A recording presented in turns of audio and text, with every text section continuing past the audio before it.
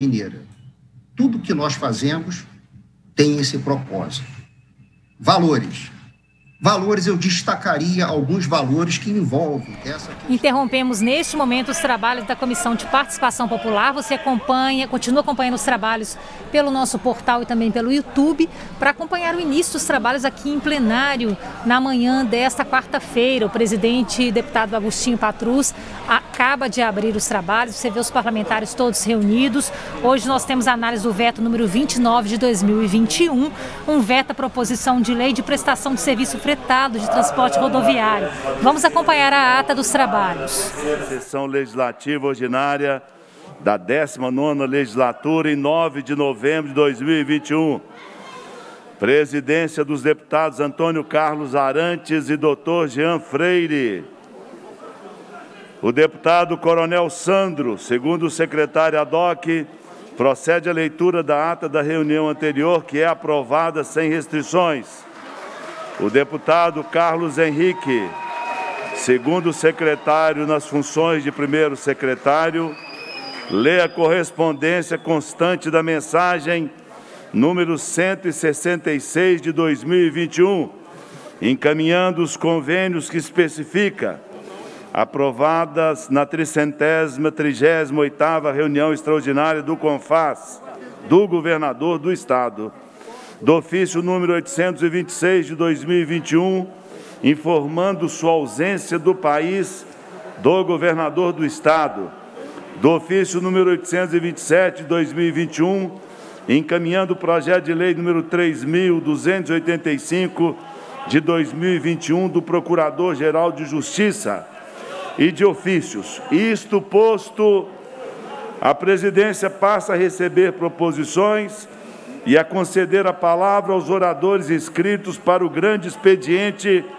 quando lhes são encaminhados a proposta de emenda à Constituição, número 77 de 2021, os projetos de lei números 3.238, 3.260, 3.261, 3.264 a 3.269 3.271, 3.273 a 3.279, 3.281 a 3.284, 3.286 a 3.297 e 3.300 de 2021.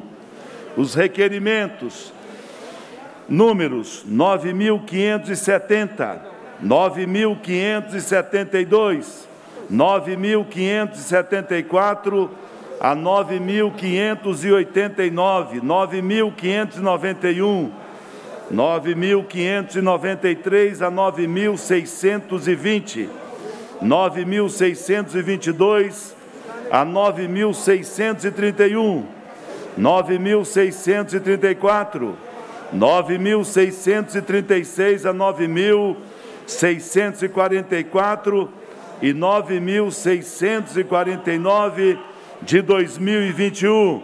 Os requerimentos ordinários números 1080, 1113, 1125, 1135, 1136, 1144 1145 e 1147 de 2021 e comunicações das comissões de esporte, de saúde, de segurança pública, de transporte, da pessoa com deficiência, dos direitos da mulher e de desenvolvimento econômico. A seguir, a presidência atenção à questão de ordem suscitada pelo deputado Virgílio Guimarães, determina seja feito um minuto de silêncio em sinal de pesar pelo falecimento do senhor Antônio Valassi, sete lagoano, que se destacou em prol do desenvolvimento do município.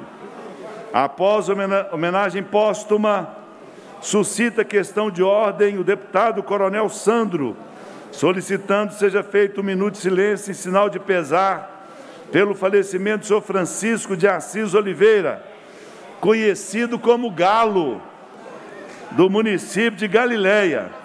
Proferem discursos os deputados professor Cleiton, Cristiano Silveira e doutor Jean Freire.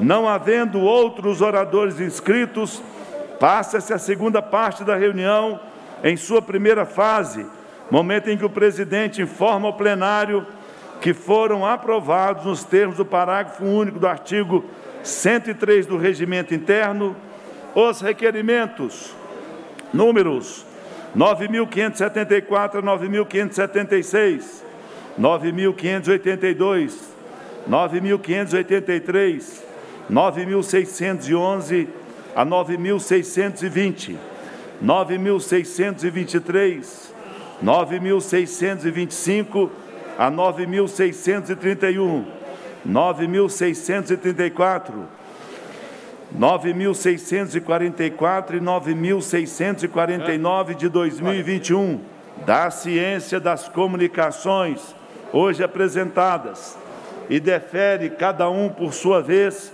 os requerimentos ordinários números 1145, 1080, 1113, 1125 e 1144 de 2021.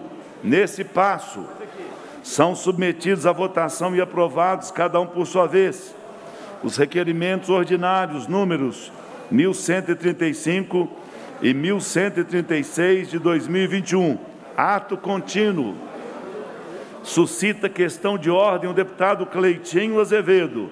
Isso posto, a presidência verifica de plano a inexistência de quórum para a continuação dos trabalhos e encerra a reunião convocando as deputadas e os deputados para a ordinária de amanhã, dia 10, às 14 horas, anunciando a ordem do dia. Levanta-se a reunião.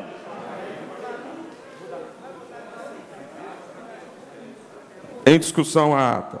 Não há oradores inscritos, não há a quem sobre ela se manifeste, doa por aprovado. Presidente. Temos. Deputado Sargento Rodrigues, pela ordem. Presidente, eu Peço a Vossa Excelência a palavra pela ordem, para trazer um assunto aqui, presidente, que já é de domínio dos colegas deputados e deputadas, e que, de certa forma, tem a ver também com a votação de hoje. E qual é o motivo que nós ocupamos a tribuna? Senhor presidente, agora, dia 5 de novembro, sexta-feira da semana passada, nós realizamos uma audiência pública para tratar do, da quebra de acordo por parte do governador Romeu Zema e seus secretários em relação aos servidores da segurança pública de Minas Gerais. Nós assinamos uma ata, presidente, depois de dez meses de negociação, assinamos uma ata, onde essa ata previa a recomposição da perda inflacionária calculada à época pelo secretário de Planejamento e Gestão, do governo Zema em três parcelas. O governo, depois de dez meses negociando com deputados, com sindicatos e associações, assinou a ata. Pois bem, presidente, governador, em 11 de março de 2020, vem a público dizer que estava vetando duas parcelas, ou seja, governador faltou com a palavra. Governador Romeu Zema é mentiroso Governador Romeu Zema não tem palavra, porque mandou dois secretários de Estado assinar o documento e depois, simplesmente, com os profissionais de segurança pública, deram uma banana para todos nós. Então, presidente, nós fizemos uma audiência pública e atualizamos a inflação do período.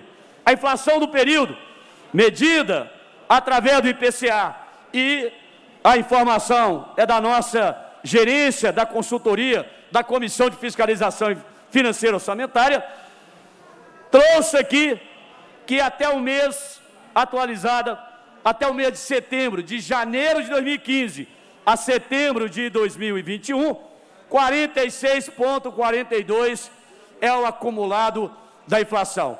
O que foi negociado com o governador?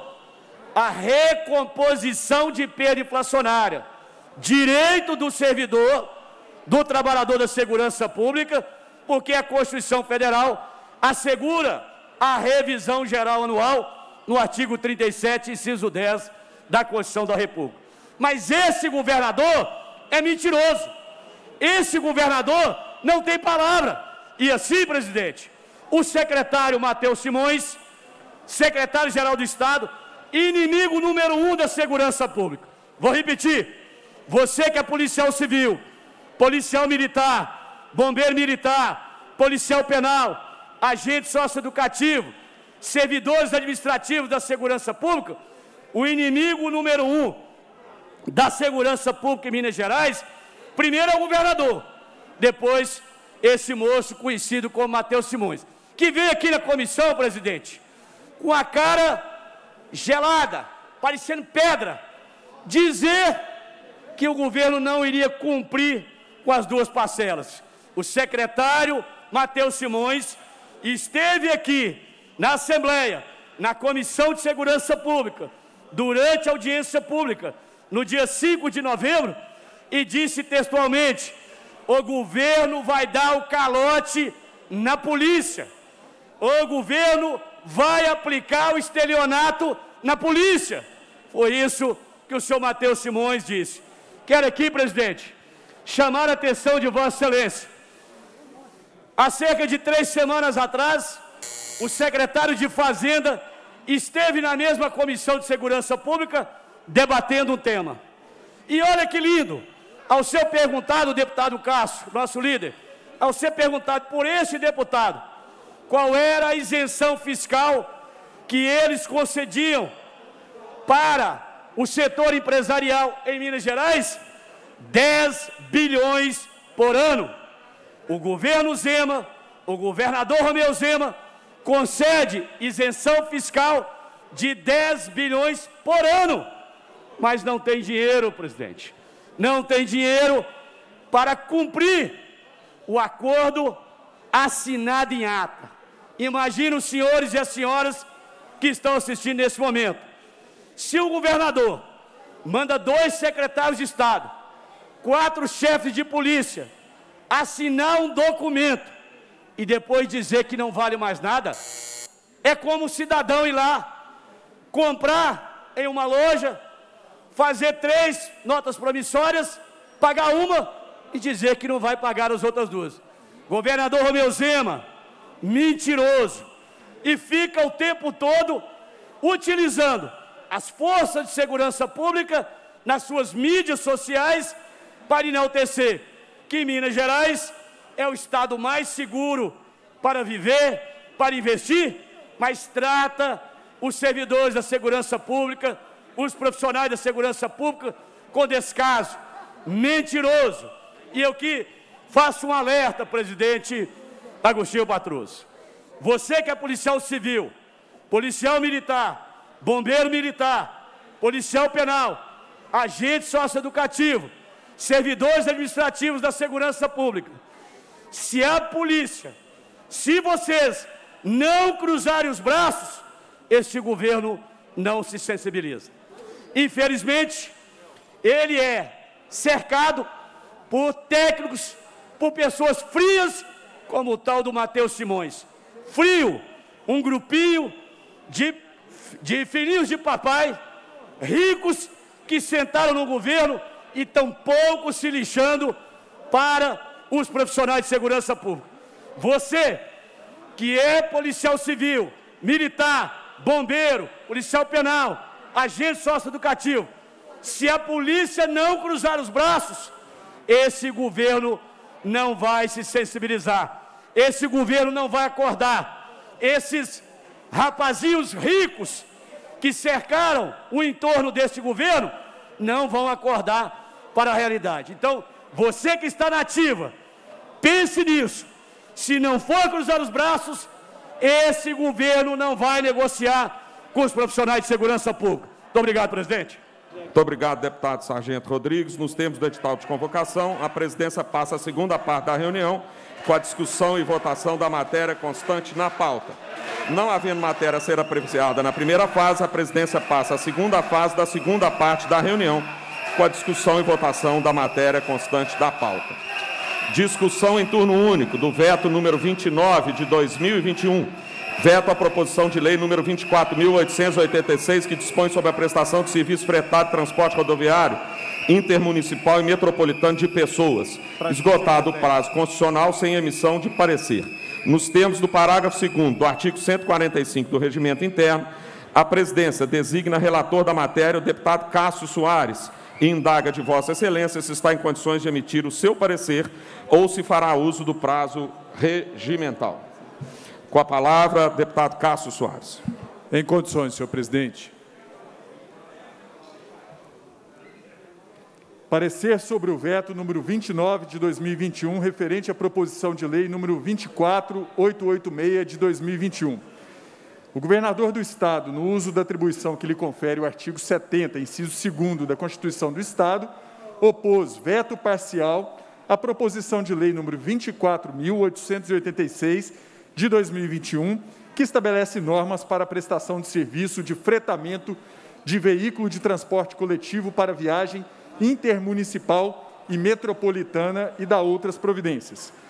As razões do veto foram encaminhadas por meio da mensagem número 155 de 2021, publicada no Diário do Legislativo de 30 de setembro de 2021. Incluído o veto na ordem do dia para apreciação, o presidente da Assembleia, nos termos do artigo 145, parágrafo 2 do Regimento Interno, designou este deputado como relator para, em 24 horas, emitir parecer no plenário sobre a matéria.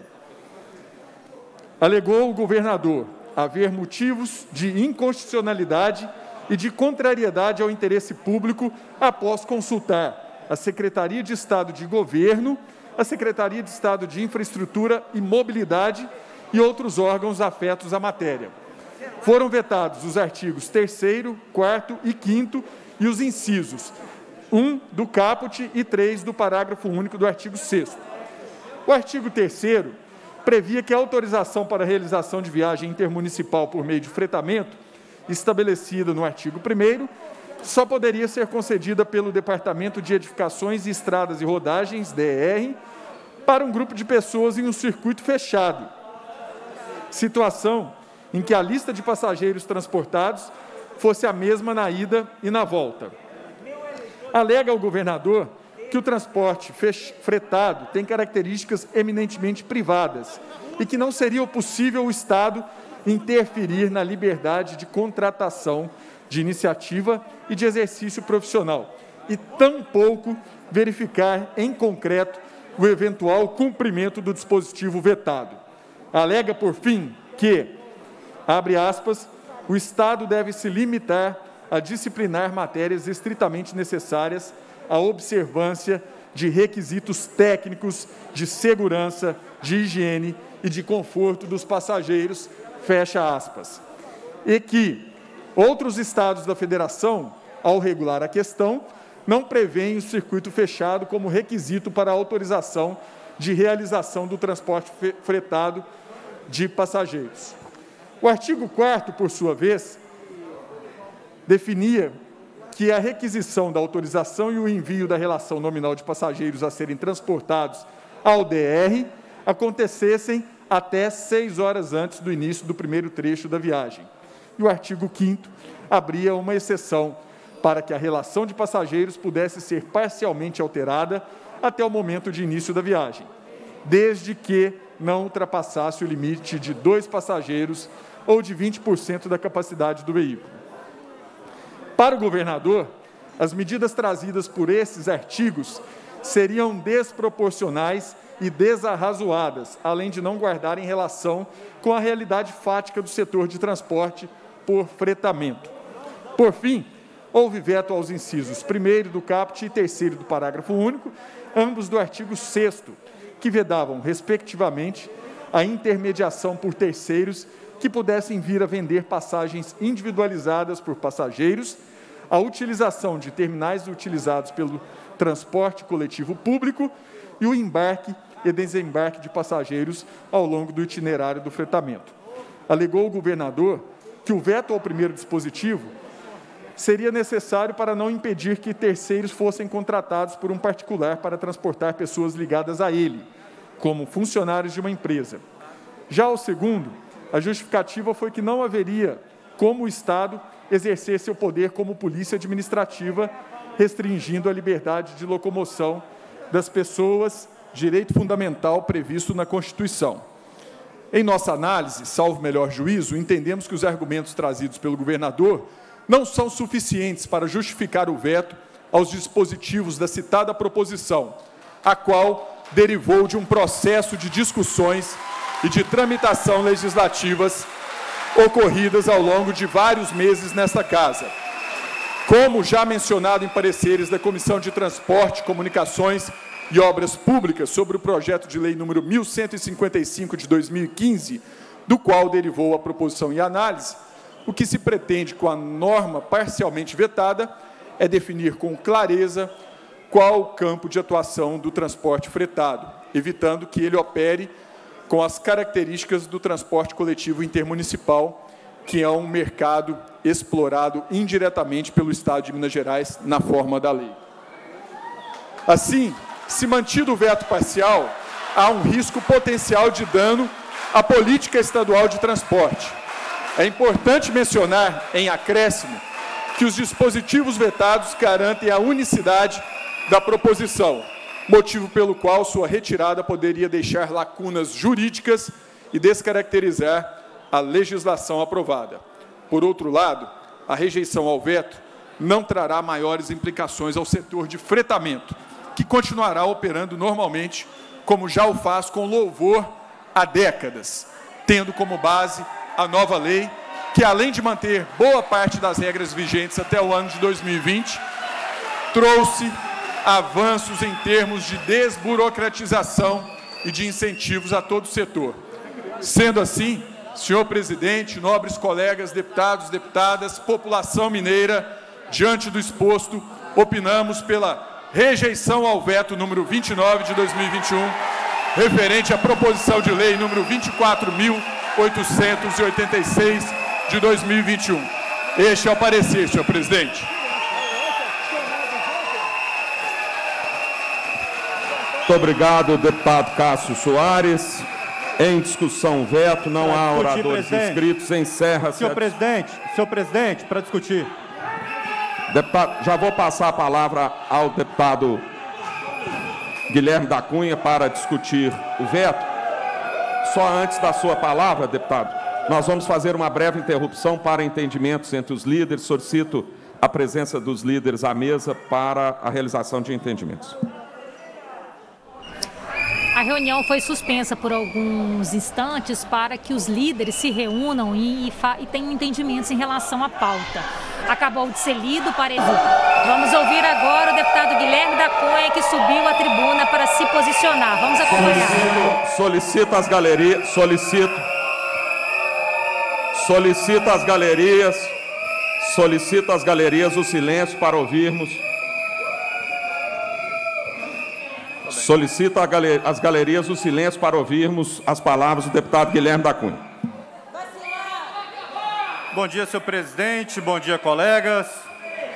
A gente tem agora, pela quarta vez, a oportunidade de debater esse projeto tão importante para Minas Gerais. E eu quero ser bastante objetivo, que eu sei que está todo mundo ansioso para poder votar, muitos com as convicções já formadas e já aguardando o momento de poder manifestar publicamente o que cada um pensa.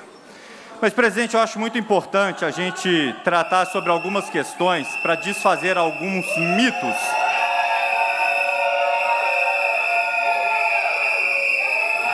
Solicito o silêncio das galerias e a manutenção do tempo do deputado. Com a palavra, com a palavra, deputado Guilherme da Cunha, está garantida a palavra de Vossa Excelência, deputado. Muito obrigado, presidente. É importante, presidente, nesse contexto em que muitos já estão com a convicção formada, com a opinião já mais do que fundamentada e decidida, a gente tratar de alguns mitos e algumas desinformações que cercaram o amplo debate sobre esse projeto, em especial nas discussões entre os deputados. Faço questão de destacar, inclusive, com a modernidade que queremos ver em vários setores da nossa sociedade, da nossa economia, mas inclusive com a modernidade do grupo de WhatsApp dos deputados, onde muitas das discussões aconteceram.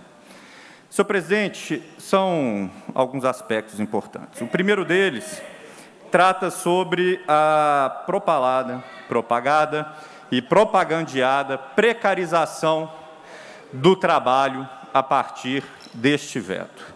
Presidente, isso não existe. Quando se fala que os aplicativos seriam o Uber dos ônibus, isso é para facilitar para a população o entendimento sobre uma questão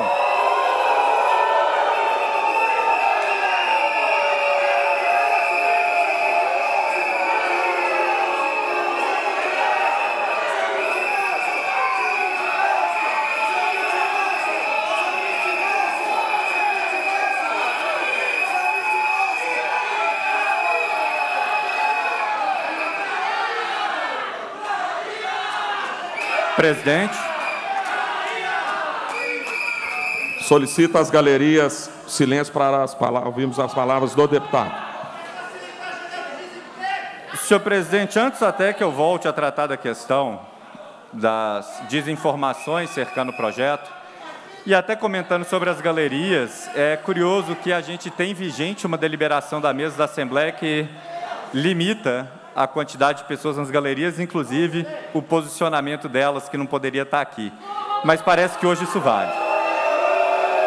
Tudo bem, porque definitivamente, senhor presidente, não é a presença ou não das pessoas nas galerias que vão mudar meu entendimento sobre uma matéria, mas os fatos e o mérito de cada proposição.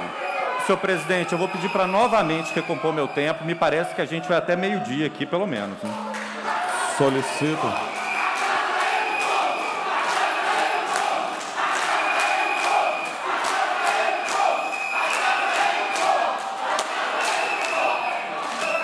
Solicito às galerias o silêncio para que o deputado possa se expressar na tribuna. Com a palavra, deputado Guilherme da Cunha. Senhor presidente, mais uma vez obrigado, mais uma interrupção. Mas não tem problema que as galerias estejam cheias, é importante a população se fazer manifestar. Como a população já se manifestou amplamente e de forma muito mais abrangente em todo o estado de Minas Gerais, inclusive com uma pesquisa conduzida e publicada no jornal O Tempo, sinalizando que 84% dos mineiros desejam a manutenção desse veto. São mineiros espalhados nas diversas regiões, são mineiros que agora estão trabalhando, estudando, que estão bastante ocupados em seu dia a dia e, infelizmente, sem tempo ou sem a oportunidade de entrada, não sei qual dos dois aconteceu, de estarem aqui nesta galeria. Mas são mineiros que merecem ser ouvidos. 84% deles, muita gente. Certamente a maioria dos representados por cada um de nós aqui. Senhor presidente, por gentileza. Mas voltando, senhor presidente, à questão das desinformações que cercam a discussão desse veto. Voltando aqui à questão que se fala da precarização do trabalho. Voltando aqui, e espero conseguir concluir o raciocínio dessa vez, voltando aqui à questão que fala sobre os aplicativos serem o Uber dos ônibus. Senhor presidente, repito, Falar que o aplicativo é o Uber dos ônibus é para facilitar o entendimento pela população, porque a sistemática de trabalho de cada um deles é muito diferente. E aí eu faço questão de explicar aos colegas. Faço questão em especial de explicar ao colega Dr. Jean Freire e também à colega Ana Paula Siqueira. Enquanto no Uber, cada motorista é um trabalhador autônomo, seu próprio empregador, por assim dizer, desprovido das garantias da CLT, no caso dos aplicativos de ônibus, a realidade é diferente. Por isso é impróprio dizer que seria o Uber dos ônibus.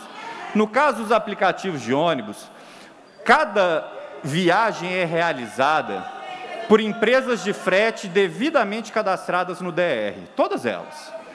E essas empresas de frete cadastradas no DR, elas têm obrigatoriedade de contratar seus motoristas através da CLT. Então a relação trabalhista está mantida. Não há precarização nas relações trabalhistas entre o motorista, a empresa de frete. Solicito, solicito às galerias, solicito às galerias o silêncio para ouvirmos o parlamentar que terá o seu tempo garantido. Quanto mais breve for a fala do parlamentar, mais rápido voltaremos. Portanto, cada vez que ele é interrompido, nós atrasamos o processo de votação. Solicito a gentileza para que o parlamentar possa expressar a sua opinião. Por favor, deputado. Senhor presidente, vou recomeçar, porque é difícil, né? O raciocínio vai se interrompendo, a fala não fica contínua e talvez os colegas fiquem com dificuldade na compreensão. Mas gostaria, senhor presidente, de recomeçar com o meu tempo recomposto e com a garantia da fala, que infelizmente eu não estou tendo no momento. Senhor presidente, eu gostaria de recomeçar, porque minha fala foi interrompida aproximadamente 15 vezes. Pode. E aí eu gostaria da recomposição do tempo e da garantia efetiva da fala. Deputado, o tempo de Vossa Excelência será garantido, se necessário, ao final Perfeitamente. É, e, iremos recompor o tempo de Vossa e Excelência. também, senhor presidente, da garantia efetiva da fala, porque Claro. a interrupção a cada dez palavras não é uma fala efetivamente garantida. Vossa Excelência terá o direito a- a- ao tempo garantido. Não apenas o tempo, mas a continuidade da fala, senhor presidente. Eu acho Ok. importante que as galerias respeitem isso ou sejam levadas a respeitar. Solicito mais uma vez à galeria o silêncio para que o parlamentar possa continuar a sua oratória. Senhor presidente, vou recomeçar.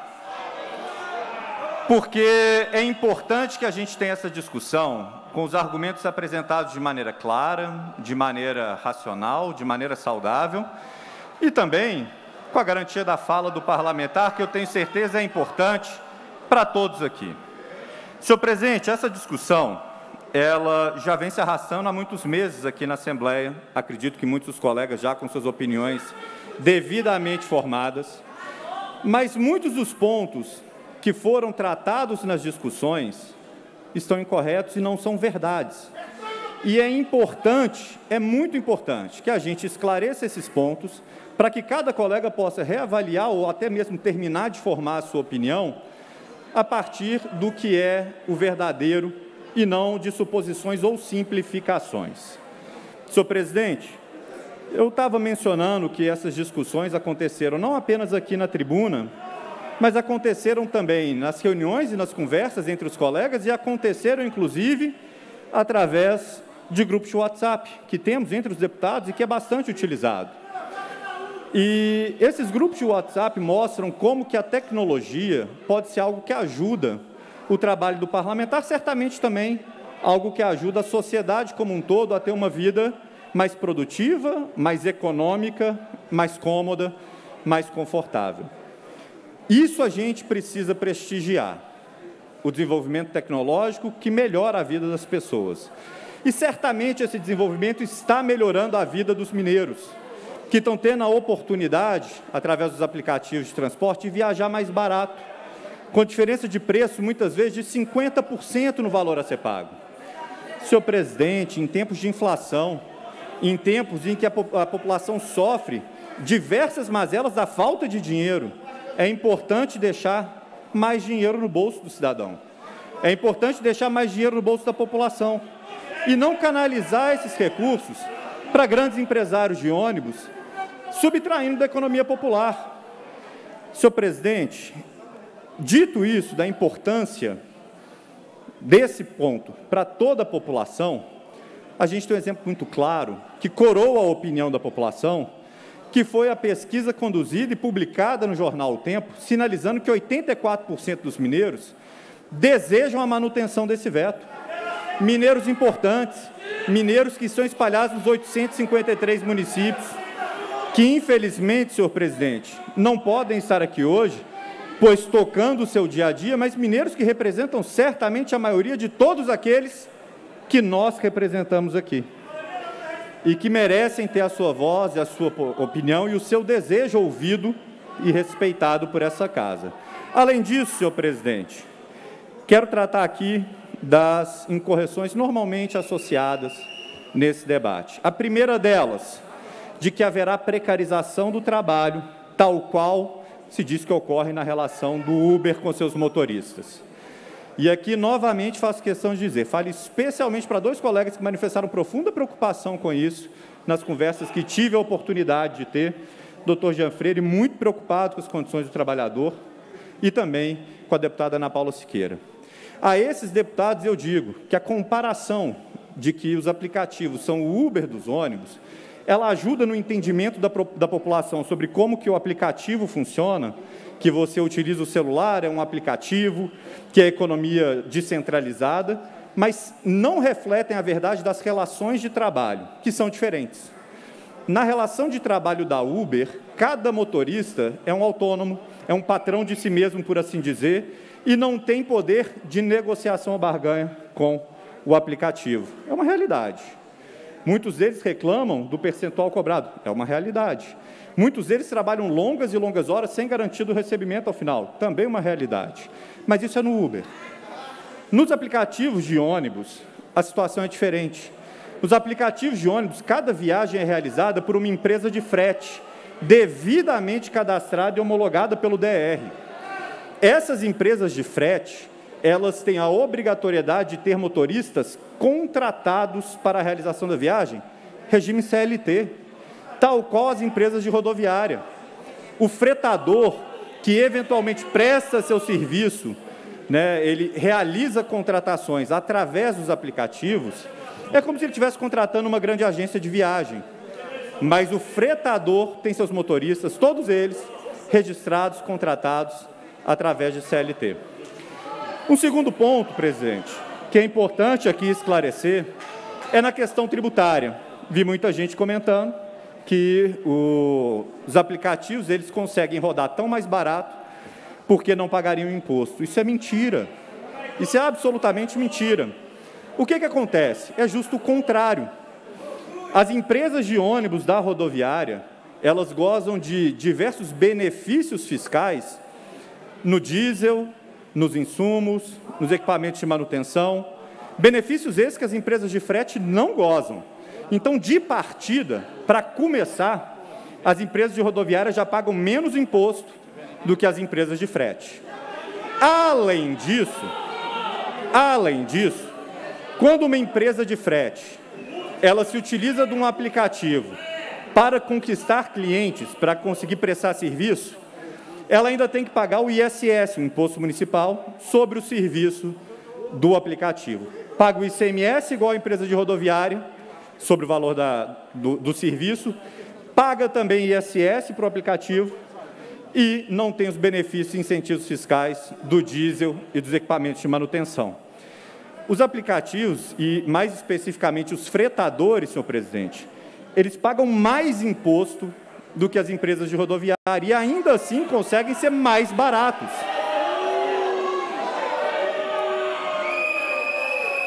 Solicito o silêncio das galerias. Por favor, deputado, com a palavra. Eles pagam mais imposto e ainda assim conseguem ser mais baratos, e muito mais baratos. 50% mais barato, em geral, para a população de Minas Gerais. Há um outro ponto, também importante, para que a gente possa abordar aqui de mentiras que permearam a discussão e que merecem ser tratadas nesse momento, que é o aspecto de segurança. Fala-se que as empresas de aplicativo, ou mais especificamente os fretadores, não têm garantia da segurança no ônibus, que é precário, que não tem manutenção, que ninguém fiscaliza. Isso é falso. Senhor presidente, isso é falso.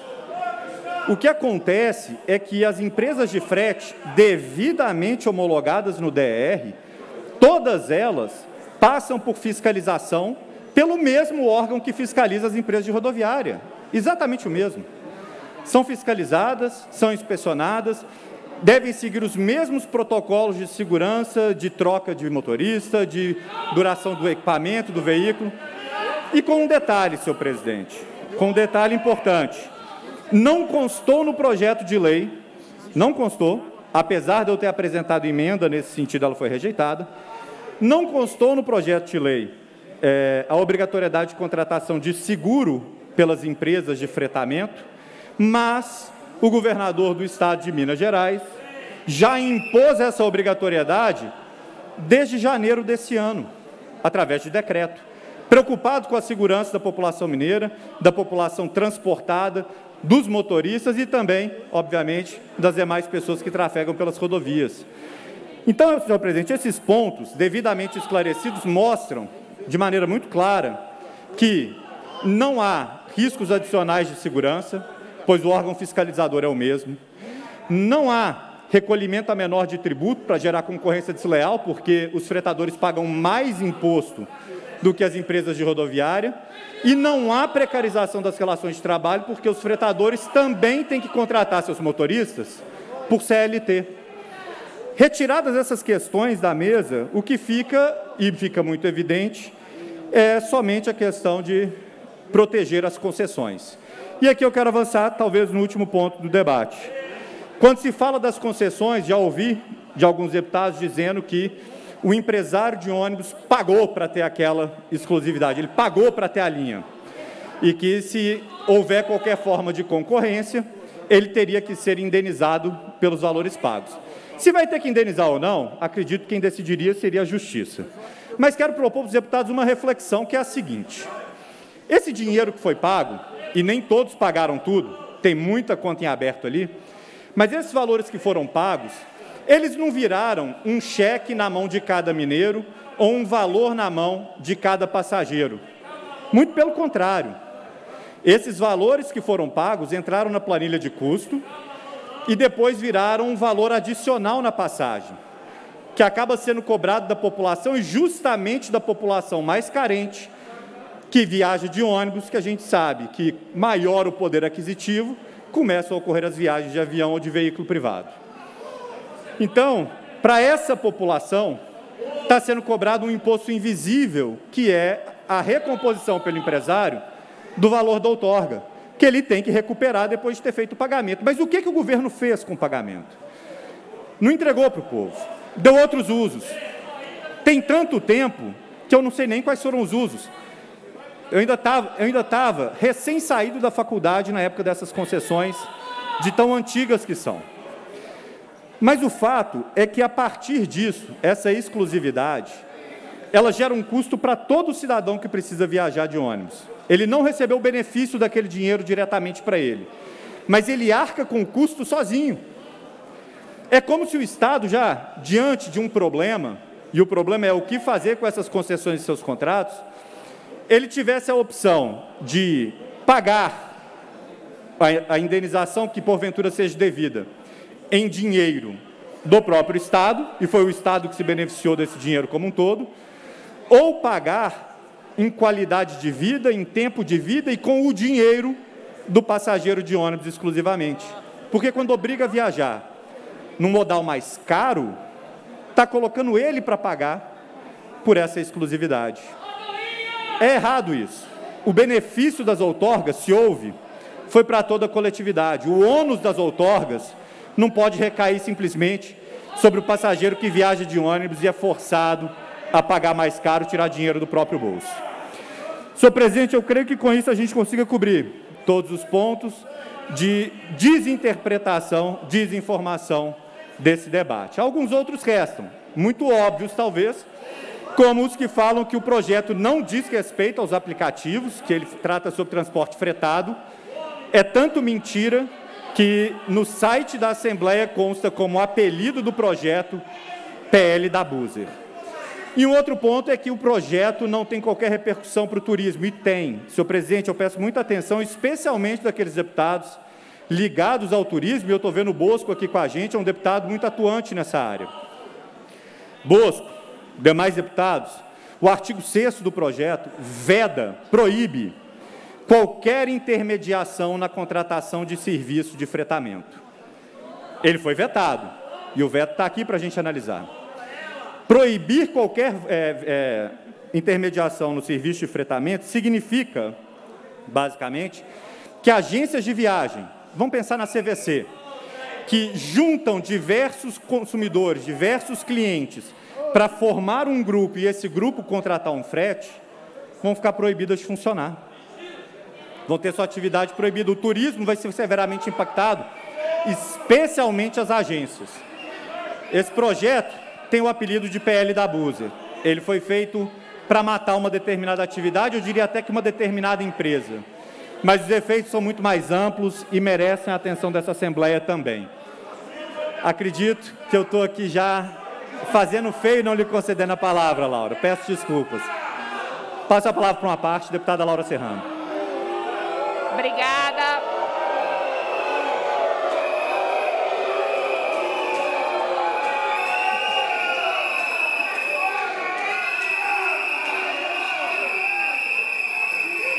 Solicito, solicito,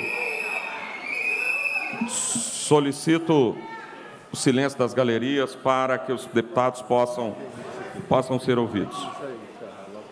Obrigada, presidente. Obrigada, colega deputado Guilherme da Cunha, pela parte.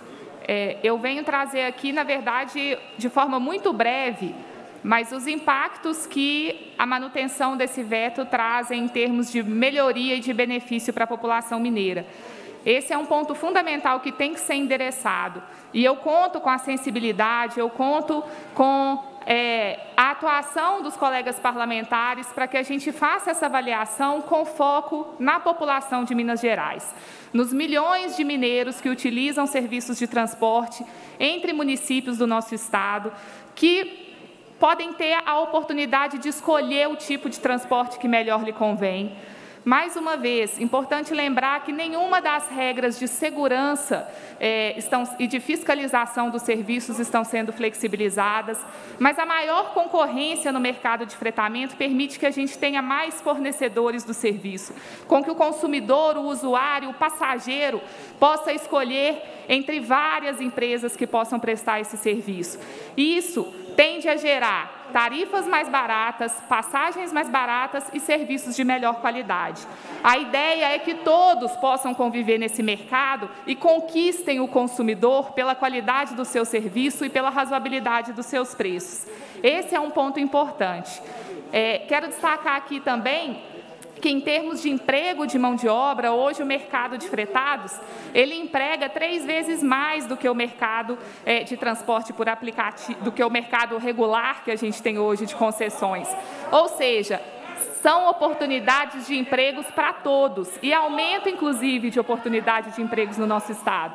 Mas, mais uma vez, o foco deve ser na qualidade do serviço prestado para os passageiros mineiros, para os milhões de mineiros que precisam se deslocar entre os 853 municípios do nosso estado. E por isso, eu conto aqui com a sensibilidade dos colegas parlamentares pela manutenção do veto do governador, buscando o melhor para a população de Minas usuária desses serviços com mais liberdade de escolha. Obrigada.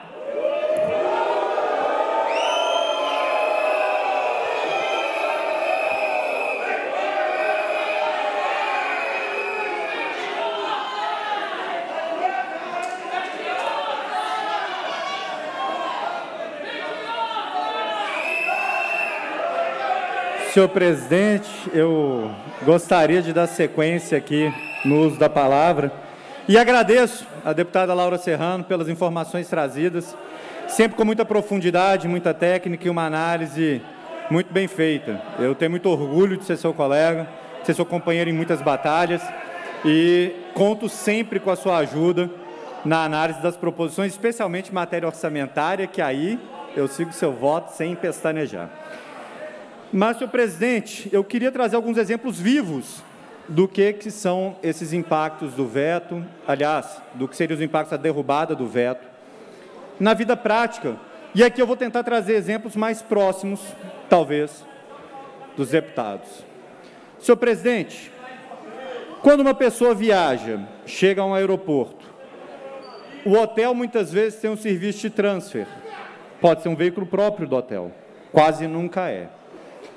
Serviço de transfer normalmente feito por empresas de fretamento. Senhor presidente, a derrubada do veto impedirá que o serviço de transfer continue existindo por duas razões. A primeira, circuito fechado.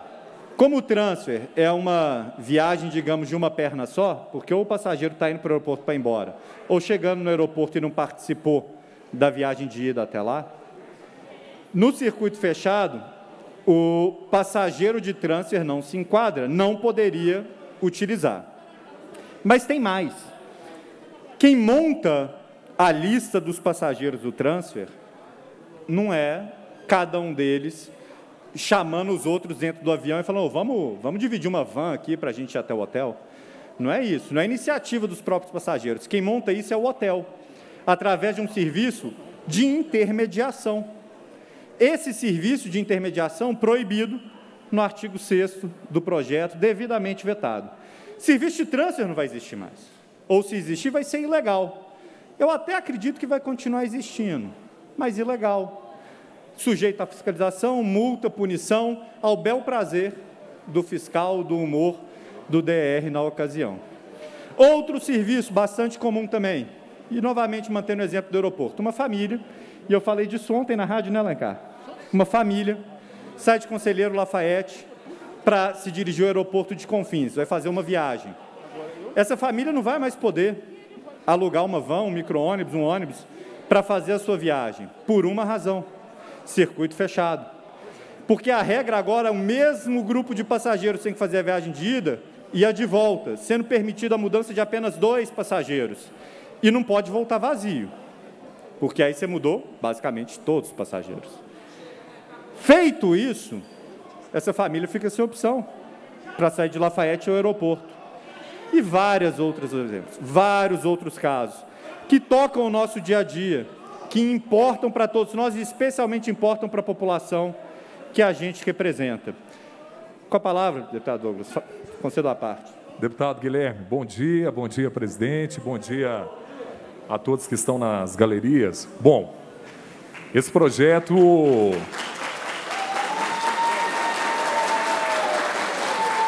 Eu venho acompanhando o projeto já há alguns dias e eu acho que Nada mais nobre na democracia que a gente ter pontos de vista diferentes. E eu não posso aqui negar que o governador Romeu Zema, ele defende suas convicções. E isso é importante, como o senhor também está defendendo. Mas eu acho que todos nós aqui, nós estamos em regiões diferentes. E aí eu vou falar um pouquinho da minha. E o que eu tenho sentido em relação a esse projeto. Concordo com o senhor que nós temos que zelar primeiro pelos passageiros e por aquilo que o povo mineiro vai pagar. Mas tem um outro lado que a gente tem que tomar muito cuidado. Vou dar ao senhor um exemplo de um projeto que é discutido nessa casa há muito tempo. O projeto fala muito da Buzer, mas nós temos milhares e milhares de taxistas espalhados no estado de Minas que eles não podem sair das suas cidades para fazer o transporte fora do município. E uma pergunta que eu deixo: por que, que a Buzer pode e o taxista não pode?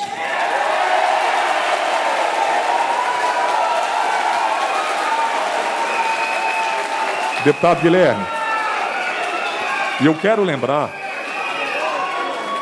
eu quero lembrar que eu não estou criticando o posicionamento do senhor, mas eu só estou chamando, eu só estou chamando para uma reflexão. Outro ponto que eu quero, ponto, que eu quero deixar aqui para os nossos colegas, nós estamos falando dos motoristas de aplicativo também, do Uber do 99. E esses motoristas estão sofrendo muito na crise também, a cada dia recebendo menos. E eu acho que esse projeto acaba com os motoristas de aplicativo. Por quê?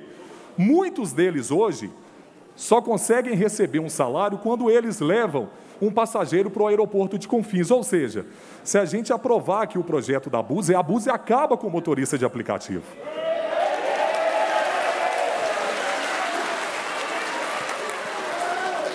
Deputado, outro ponto aqui, eu só estou pontuando questões, como eu disse, eu entendo a sua visão, eu só estou colocando a minha até para que a gente, em conjunto com os deputados, busque, busque a melhor forma de votar.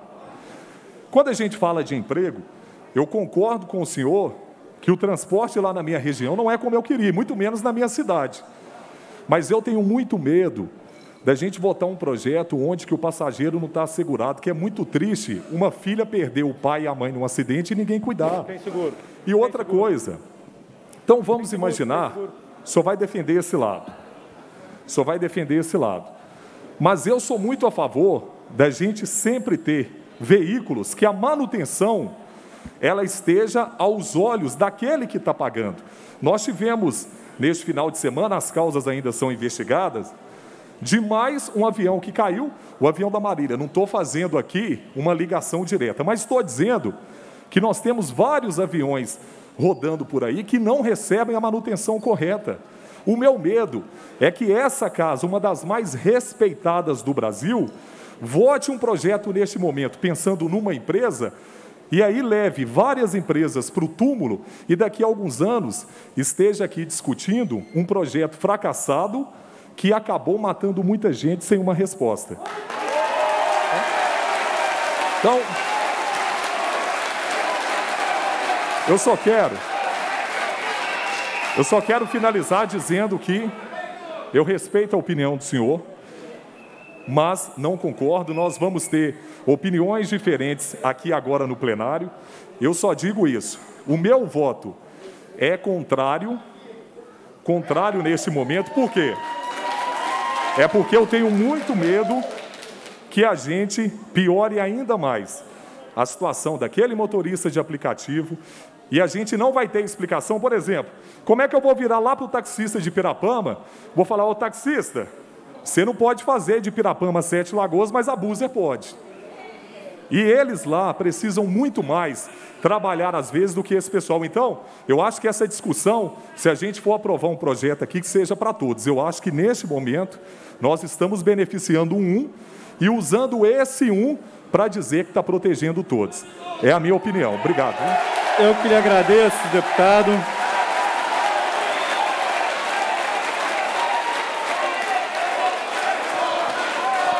Solicito silêncio à galeria para a palavra do parlamentar. Por favor, deputado Guilherme da Cunha. Muito obrigado, Douglas, por enriquecer o debate, trazer alguns pontos para discussão e consideração.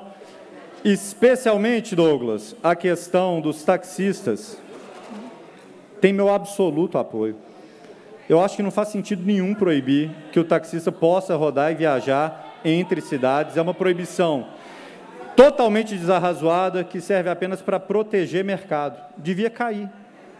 Concordo contigo que eles tenham liberdade. Mas você entende esse dilema de que diante da ausência de liberdade, e você identifica a ausência de liberdade como um problema, especialmente para o taxista, a luta deveria ser para trazer liberdade e não para prender todo mundo. Se a falta de liberdade é um problema para esse taxista, se tira dinheiro da mesa dele, se piora a qualidade de vida da família dele. E nada disso vai melhorar se outras pessoas também piorarem. O que vai melhorar a qualidade de vida dele é mais liberdade. Não é proibir o outro de também ter sustento. Não é proibir o outro de trabalhar. Principalmente, não é proibir o outro de prestar um serviço à população que permite que a população fique com dinheiro no bolso. Então, tem meu total apoio lutar por mais liberdade para o taxista. O mesmo empenho que coloquei na tramitação desse projeto e o mesmo empenho que coloquei para fazer, né, para discutir com o governo a mudança no decreto que aconteceu em janeiro, é o empenho que pretendo colocar também nessa questão dos taxistas, porque é justa. Mas, Douglas, eu devo discordar quando você diz que o ônibus contratado por meio de aplicativo retira passageiros dos aplicativos de transporte individual, do Uber, do 99, por aí vai. Porque são transportes absolutamente diferentes. O aplicativo pelo transporte individual é na hora que eu quero. Eu chamo agora que um Uber, 10 minutos sem Uber na porta da Assembleia. É para o trajeto que eu quero. É muito diferente do aplicativo quando aplicado ao universo dos ônibus, que tem que formar um grupo, que vai num horário determinado, que tem uma viagem que é mais demorada, mais longa, que o embarque não vai acontecer na porta da minha casa, o desembarque não vai acontecer no meu ponto de destino exato. Eu vou ter que me deslocar, tanto na minha cidade quanto naquela que eu estou indo, num horário que não é exatamente da minha conveniência. São exemplos muito diferentes. E se essa é a razão do seu voto, eu gostaria da oportunidade da gente continuar essa discussão antes da votação, porque não me parece uma, um, um argumento concreto. Agora, em relação ao seguro, você chegou a mencionar, esse projeto aqui teve a oportunidade de colocar seguro como obrigatoriedade para as empresas de frete na lei. Teve também a oportunidade de colocar a obrigatoriedade de gratuidades para transporte de idosos, por exemplo. As mesmas gratuidades legais do transporte coletivo público. Mas essas oportunidades foram rejeitadas pelo relator, deputado Celinho, e pela Comissão de Transportes, não sei se porque da minha autoria, porque fui o autor da emenda que propunha isso, ou se porque, juntamente com isso, que todos dizem querer e achar importante que exista, eu coloquei também o fim do circuito fechado, que Minas Gerais é o único estado em todo o Sudeste que pratica. Mas o fato é que minha emenda foi rejeitada. E não está nesse projeto de lei, não foi incluído pelo autor, deputado Alencar, ou por qualquer das pessoas que o relataram depois, a obrigatoriedade de contratação de seguro. Mas o governador do estado obriga a contratação de seguro, mediante decreto, para todas as empresas que atuam com fretamento. Então já existe seguro da mesma maneira que as empresas de rodoviária. E elas são fiscalizadas, as empresas de fretamento, pelo mesmo órgão que fiscaliza as empresas de rodoviária. Trabalhar com esse transporte fretado, transporte coletivo privado, não é comprar um ônibus e meter o louco, não. Você não vai pôr um ônibus e, e sai catando gente, não. Não é isso. Esse transporte é feito por empresas devidamente cadastradas, homologadas, fiscalizadas pelo DR, por motoristas profissionais contratados de carteira assinada, também devidamente habilitados, e submetidos à jornada, carga horária e direitos trabalhistas, tal qual todos os demais. A toda evidência, esses argumentos, tão amplamente utilizados, da precarização do trabalho, do seguro, dos impostos, tudo isso é falso. O que resta aqui é a tentativa de proteção das concessões, proteção dos grandes empresários de ônibus à custa da população. E, senhor presidente, finalizo dizendo que a população já deixou muito evidente seu desejo e sua opinião. 84% dos mineiros manifestaram o desejo da manutenção do veto. Muitos deles, Douglas, da região de Sete Lagoas. E a manutenção do veto não significa o fim das empresas de transporte convencional, vão continuar tendo suas concessões, significa que o cidadão vai ter escolha. E se ele achar que a empresa de frete não está confortável, não é confiável no horário de partida, ou qualquer outra razão, se ele não gostar do serviço, se ele não for com a cara da empresa, se a pessoa for filho de alguém que defende que o projeto seja, no fim das contas, que a atuação seja impedida, aí a pessoa tem a opção de usar outro serviço. Sempre tem a opção de usar outro serviço, desde que exista concorrência. E é isso que o mineiro quer liberdade para escolher, assim como todos nós gostamos também da nossa liberdade de argumentar, de divergir, de decidir, de escolher. Escolher como votar, escolher como viajar, escolher como viver. Eu tenho certeza, senhor presidente, que o desejo da população merece ser valorizado e acolhido nessa casa, razão pela qual eu tenho certeza que o melhor caminho para essa Assembleia tomar é a manutenção do veto, razão pela qual eu peço a todos os colegas o apoio ao veto do governador em defesa do dinheiro no bolso dos mineiros. Muito obrigado. Muito obrigado, deputado Guilherme da Cunha. Com a palavra para encaminhar, deputado Bartô. Para discutir com a palavra, deputado Bartô. Na ausência na ausência do deputado. Ah.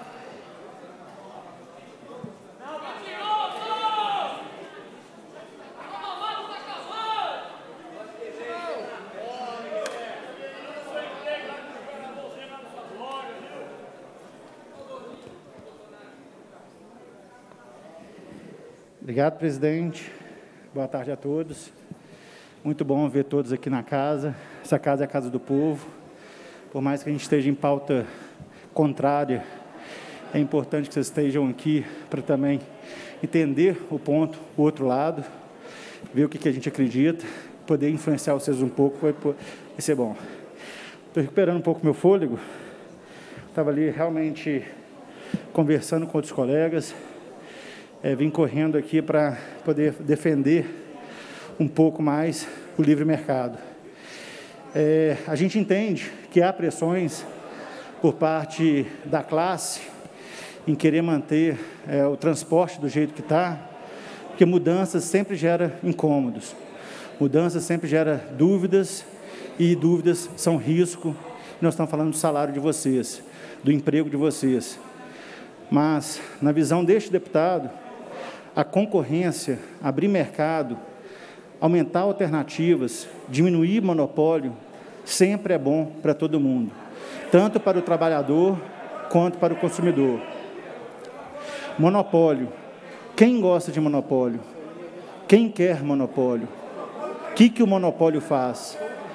Como que funciona a restrição de mercado que causa tantos monopólios hoje no nosso país? E como estão as reclamações em todos os setores onde há este monopólio? Hoje o que a gente tem aqui é um veto do governador para barrar duas medidas que são extremamente danosas à livre concorrência. E tudo aquilo que ataca a livre concorrência favorece monopólios. Então, as medidas que, que fizeram por onde o governador vetar, e que, ao meu ponto de vista, fazem todo sentido, são duas medidas. São duas medidas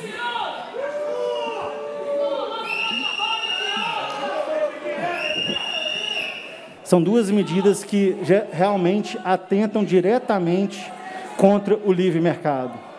A primeira medida é o circuito fechado. O ônibus só pode transportar com circuito fechado. Para ele poder ir, ele tem que voltar com os mesmos passageiros e essa lista tem que ser apresentada seis ou oito horas antes da, da viagem.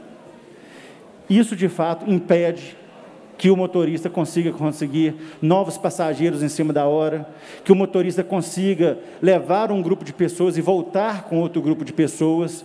Então, claramente a gente vê que o livre comércio, acertado entre as partes, aqui está comprometido.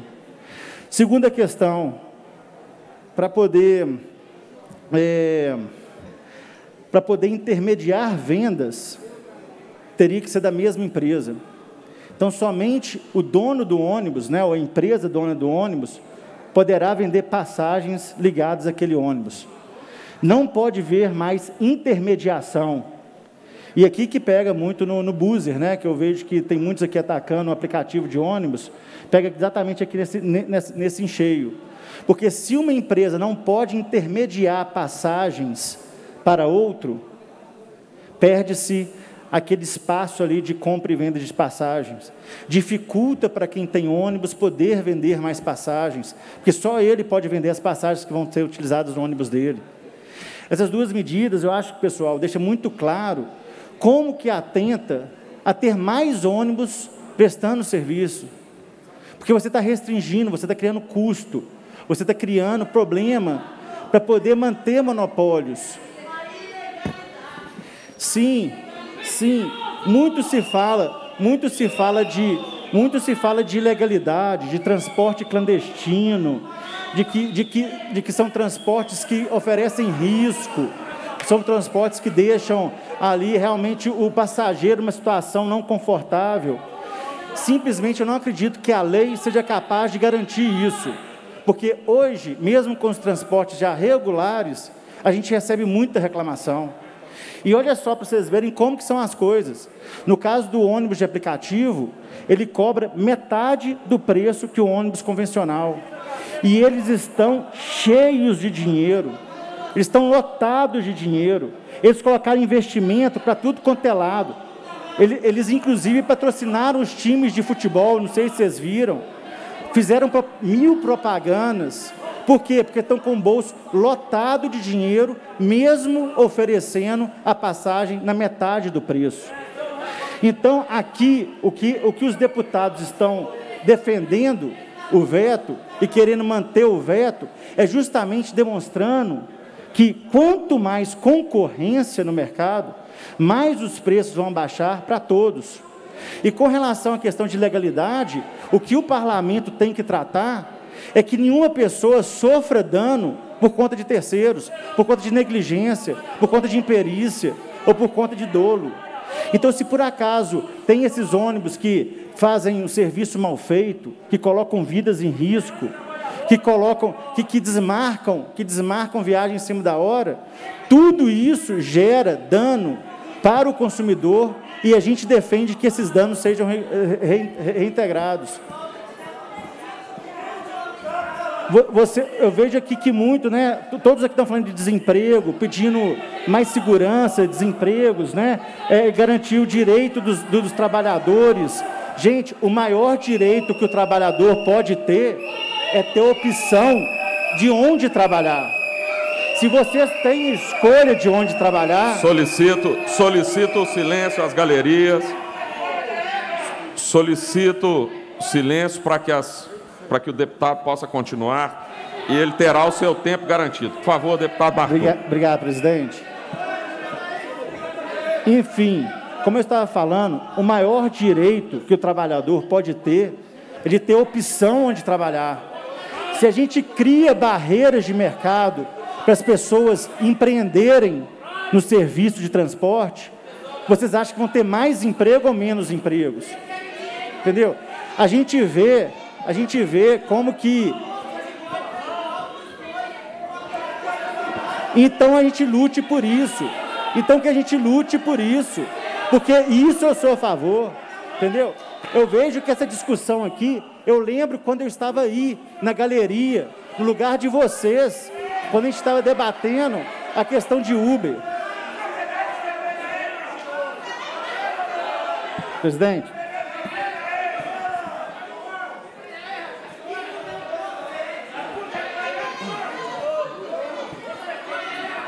Eu me lembro quando eu estava no lugar de vocês aí na galeria, para poder discutir basicamente a mesma coisa aqui, que é simplesmente era a liberdade do transporte individual, onde o Uber estava concorrendo com os táxis e a gente via como que as cooperativas de táxis encheram essas galerias, falando exatamente o que vocês estão falando agora, que os passageiros não teriam garantias, que os passageiros teriam em risco, que os empregos dos taxistas estariam em risco. Isso se passaram sete anos. Hoje a gente vê claramente como que o táxi e o Uber conseguem conviver e como que isso foi melhor para toda uma população, onde as pessoas tiveram acesso a mais empregos, podendo ser motoristas, e as pessoas tiveram mais acesso a transportes. Quantos aqui começaram a pegar Uber, começaram a ter carro buscando a sua casa, e que antes não tinha isso com táxi? É isso que a gente defende. É isso que a gente defende. É ter um mercado que não é perfeito. Nenhum mercado é perfeito. Mas é um mercado onde não tem controle, não tem monopólio, onde o mercado é pulverizado, onde quem vai mandar no mercado de fato é o próprio consumidor que escolhe qual serviço que ele quer usar. Eu, eu, eu, tenho, eu, vi, eu vi um panfletinho que vocês distribuíram comparando é, ônibus convencional com ônibus de, de aplicativo. Tem várias questões que vocês mostraram ali que o ônibus de aplicativo é bem pior do que o ônibus convencional. Mas isso, quem vai decidir ali na hora qual o transporte vai ser usado, é o próprio consumidor. E ele vai levar em consideração esses pontos que vocês colocaram. E por isso que sempre vai ter espaço para os dois. Sempre vai ter espaço para os dois. Da mesma forma como a gente vê hoje o espaço do táxi com o Uber. Então, o que a gente vê aqui hoje na prática é discussão de manter restrições para que o mercado não consiga se florescer e oferecer mais serviços e manter monopólios. Simplesmente, o que para mim é um absurdo é justamente ter o circuito fechado e acabar com essa questão da intermediação de passagens. E isso é prejudicial para todo o setor de vocês. Isso é prejudicial a todo o setor de vocês. Porque, como eu falei, para o trabalhador também é bom ter opções. Quanto mais a gente gera essa insegurança, menos pessoas vão investir no mercado. Não, não vai perder o emprego, não vai perder o emprego. Eu sei que vocês estão com medo, porque toda mudança traz o risco, traz a incerteza. Mas o que vai acontecer é que vai florescer mais o mercado. Inclusive até dando condições de vocês mesmos comprarem ônibus e começar. Eu pergunto aqui, eu pergunto aqui, vocês estão preocupados em perder o emprego?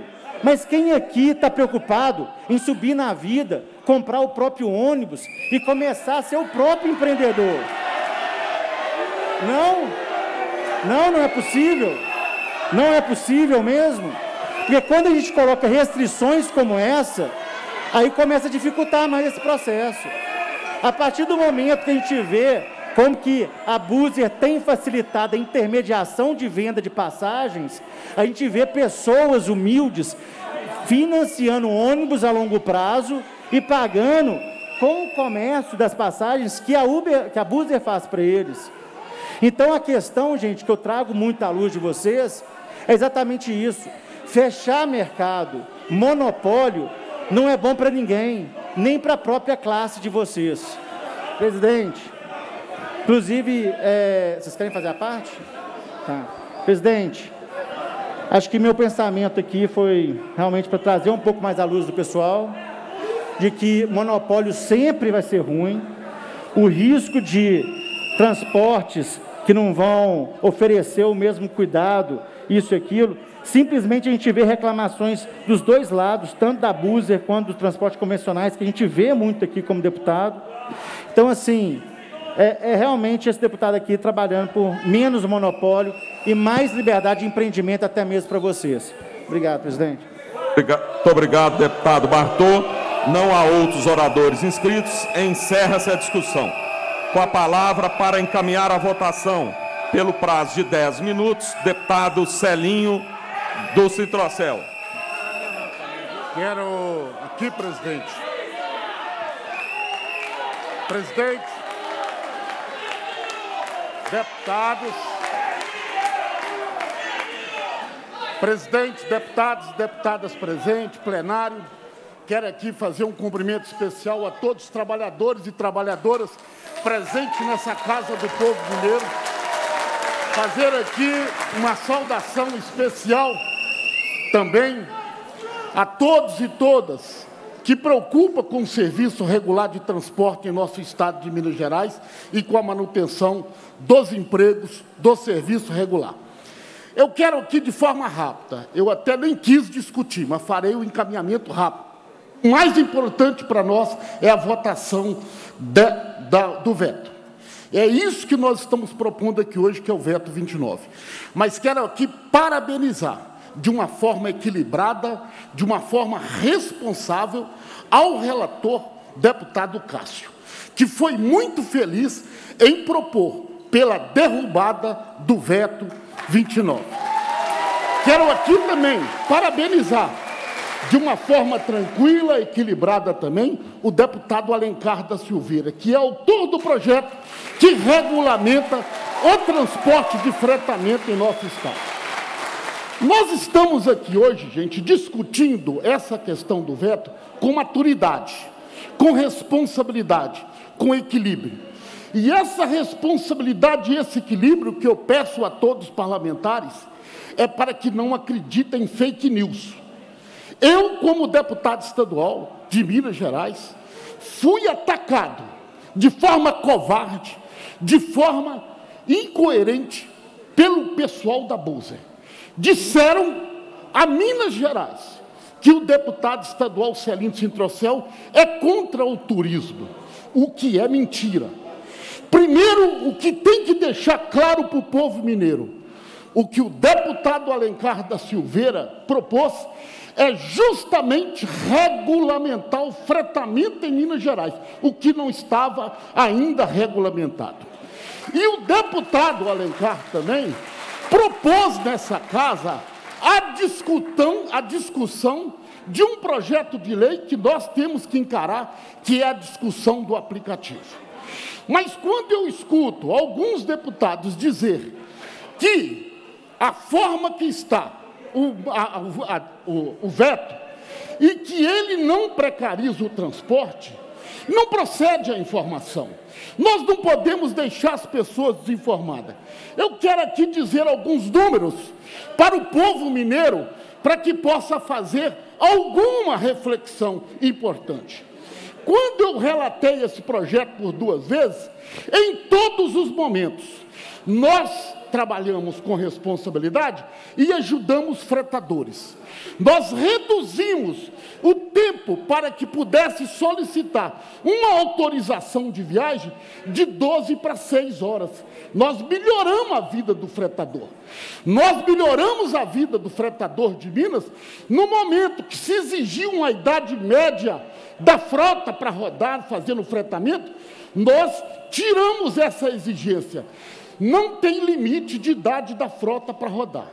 Agora, dizer, como disseram aqui, que a manutenção do veto não gera desemprego, eu desafio a todos os deputados que disseram que não vai haver demissão. Onde é que está a estabilidade de emprego dos motoristas, dos auxiliares de viagem, dos trabalhadores da manutenção e da administração? Não existe estabilidade. Agora eu quero mostrar ainda mais uns números que é para todos nós fazer uma reflexão. Olha, nós, do Serviço Regular de Transporte, e que eu represento e luto por esses trabalhadores, eu não estou aqui fazendo defesa do monopólio da empresa, mas eu estou defendendo um serviço regular que possa proporcionar a todo o povo mineiro o transporte com segurança, com responsabilidade. Esse serviço regular atende hoje 813 municípios em Minas Gerais dos 853. E aí eu pergunto: quantos municípios a Búzia está atendendo? Quantos? Eu pergunto e falo para poder fazer a reflexão. Aqui está sendo representado 250 mil trabalhadores. Quantos empregados a Buzer tem? Zero. Eu quero dizer aqui que esse serviço regular de transporte que nós estamos discutindo, e que nós estamos regulamentando o fretamento, atende 1.250 linhas em Minas Gerais. Eu quero dizer que a Búzia não propõe, mas o serviço regular propõe um transporte por ano de 2 milhões e meio de pessoas idosas e de necessidades especiais gratuitamente. E que a Búzia não propõe. Eu quero dizer que o serviço regular que está aqui Atende hoje, deputados, 17 milhões de passageiros por ano. E será que, se acabar com o circuito fechado, isto vai continuar desse jeito? Nós sabemos e temos a consciência, a responsabilidade de dizer: vai precarizar cada vez mais o serviço de transporte, vai sucatear, vai desmontar o transporte público regular em Minas Gerais. Eu estou aqui dizendo que desses trabalhadores dessa casa, meus amigos, minhas amigas, tem aqui, são empregados de 314 empresas. Hoje em Minas Gerais, de 314 empresas, isso vai se resumir em uma porque vai sucatear e vai precarizar. Por isso nós estamos encaminhando, pedindo em nome do Bloco Democracia e Luta, aqui da Assembleia que eu faço parte, pedindo para que todos os deputados possam fazer uma consciência e pela derrubada do veto 29. Porque derrubando o veto 29 vai estar ajudando ao povo mineiro, vai estar ajudando a Minas Gerais, vai estar ajudando o nosso Estado, que é um Estado, dentro da Federação Brasileira, um Estado de uma importância muito grande. E essa casa, esse parlamento, sempre votou com equilíbrio e com responsabilidade. E eu tenho certeza que nós podemos contar com todos vocês nesse momento. E nós não estamos fazendo oposição ao governo aqui, não. Eu sempre disse e volto a dizer: eu não sou a favor do quanto pior, melhor. Se eu fosse a favor do quanto pior, melhor, eu estava lutando para manter o veto. Mas como eu sou a favor do povo mineiro, dos trabalhadores, de um transporte regular, eu estou pedindo pela derrubada do voto em nome do bloco. Pedindo para que a gente possa manter os empregos aqui em Minas Gerais. Essa mobilização, ela traduz na luta, na unidade de força política. E essa unidade de força política é aqui que esse parlamento dá o direito de voz a vocês. Meus amigos, minhas amigas, não quero tomar tempo, precisamos votar essa derrubada do veto, mas peço aqui em nome do Bloco Democracia e Luta, em nome de 250 mil trabalhadores, em nome do transporte regular de Minas Gerais, para que a gente possa fazer esse encaminhamento favorável pela derrubada do veto 29. Muito obrigado a todos vocês. Muito obrigado, deputado Celim. Com a palavra, deputado Sargento Rodrigues. Deputado Sargento Rodrigues, abre mão da sua inscrição. Com a palavra, deputado Arnaldo. Deputado Arnaldo Silva, com a palavra. Senhor presidente, caros colegas deputados e deputadas estaduais, eu não poderia, nesse momento também, senhor presidente, deixar aqui de fazer uso da palavra e o faço com muita tranquilidade. Primeiramente, para dizer que confio, apoio estou ao lado do governador Romeu Zema aqui na Assembleia, sabedor, sabedor do trabalho que ele tem feito para Minas Gerais, de recuperação fiscal, das finanças, o trabalho de seriedade e responsabilidade que esse governo tem demonstrado. Mas nós precisamos, e eu quero fazer um destaque aqui, senhor presidente, coisas que eu tenho assistido aqui na Assembleia que isso me toca profundamente. Está na hora de que a gente tenha aqui um compromisso de honestidade com os argumentos, honestidade com as discussões que são colocadas nessa casa. O que nós estamos tratando aqui na Assembleia é um projeto que dispõe sobre a regulamentação do fretamento em Minas Gerais. Em momento algum, esse projeto ele trata de qualquer proibição em Minas Gerais. Em outras oportunidades aqui nessa casa, os projetos de lei em discussão já foram distorcidos e muito distorcidos da realidade que nós estamos discutindo e debatendo aqui nessa casa. Então nós temos que ter um compromisso, e esse é um compromisso que eu fiz quando jurei aqui a Constituição do Estado, a, a zelar pelos princípios constitucionais, da ética, da moralidade, da legalidade e principalmente, principalmente da correção e da verdade e da honestidade com os argumentos que se apresenta aqui. Nós estamos tratando de fretamento, não é aplicativo. Nós não estamos discutindo aplicativo aqui, não. Se é para discutir aplicativo, que se tenha um projeto adequado para isso.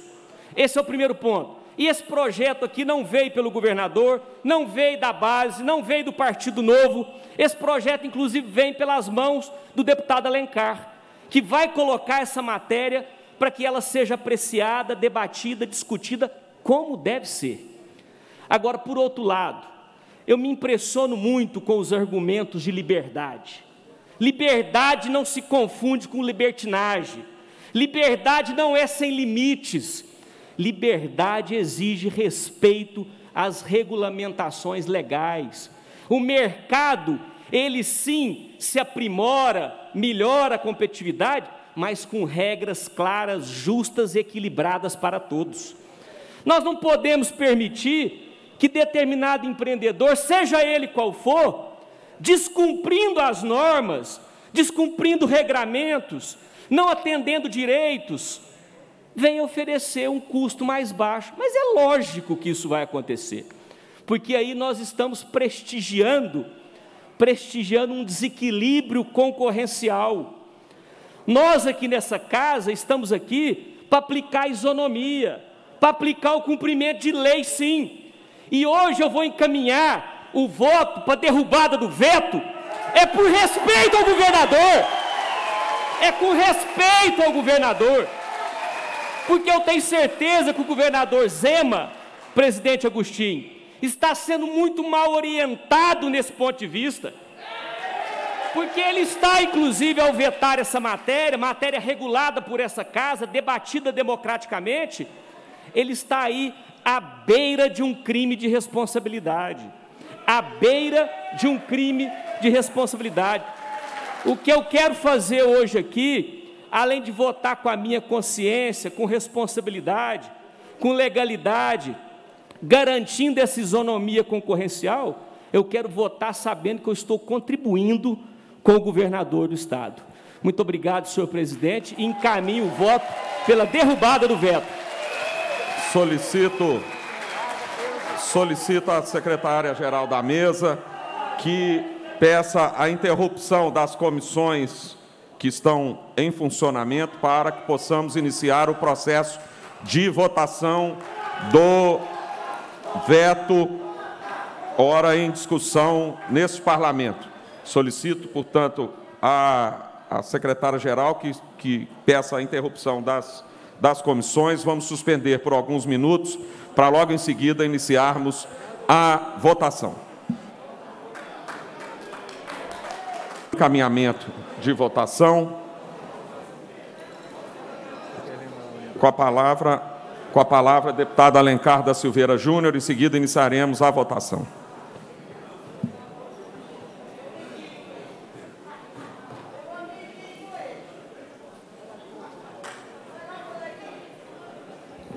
Senhores deputados, senhoras deputadas, companheiros da galeria, muito bom a gente rever a galeria depois de quase dois anos sem termos a galeria cheia e tivemos a oportunidade pela primeira vez de ver a galeria se manifestar é, e mostrar os seus, sua vontade.